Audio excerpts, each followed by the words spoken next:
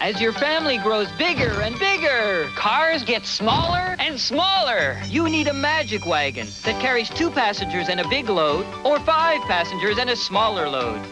Or an option for seven. It's the front wheel drive Plymouth Voyager, and Voyager's mileage is unbelievable. Only Plymouth gives you a five year or 50,000 mile protection plan. As your family grows, Voyager is the wagon to grow with. Plymouth Voyager, the magic wagon. You gotta drive it to believe it.